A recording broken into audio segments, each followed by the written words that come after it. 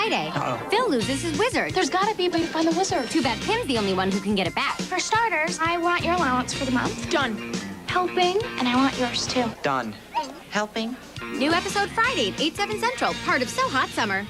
Tomorrow, Cutest couple, Keely Teslow and Phil Diffy. What the? when Phil and Keely get a major news flash, You want to be a couple? I do. Me too. We could hold hands while we walk to class.